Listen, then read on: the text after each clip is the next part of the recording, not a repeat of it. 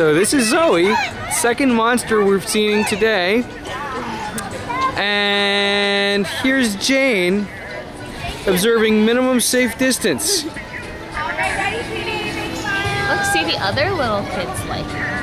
Jane, you want to wave to Zoe? She's waving to Zoe. We like Zoe. We like Zoe when she's about that big.